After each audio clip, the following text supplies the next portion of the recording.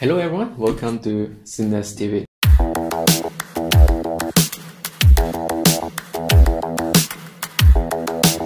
Now, in today's topic, what exactly is MDM?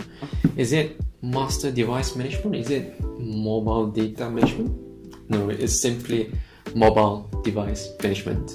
So, what exactly is MDM and what exactly does it do? So, to put it in short, MDM is simply a digital solution that allows you to control a bulk of devices in a single platform. So imagine you have 500 devices in your company and you wanted to handle each and every one of them without a single platform. It's a nightmare.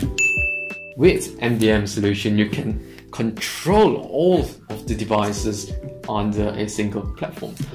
Not only that, it also have an ability to allow your employee to bring their own devices to work. Now you might be wondering, won't that hinders your security or won't that affect your company security? Well, no. MDM actually have a separate containerization where they separate between your employee personal data and the company private data.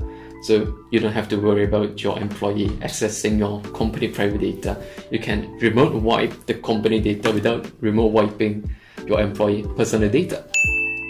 The last feature of MDM will be its ability to set custom settings on your company devices. So let's say for example if you have a device that you want to stop it from using the camera, you actually can set it. Or you want to stop a device from opening the browser or the app store, you can also set it. The device is fully under your control under MDM solution.